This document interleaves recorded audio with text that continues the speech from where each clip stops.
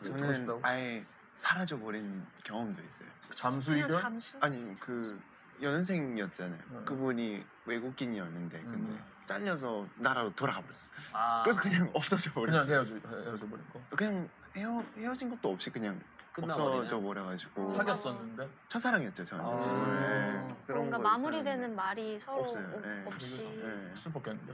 슬펐죠. 첫사랑은 또 되게 아프잖아요. 그죠.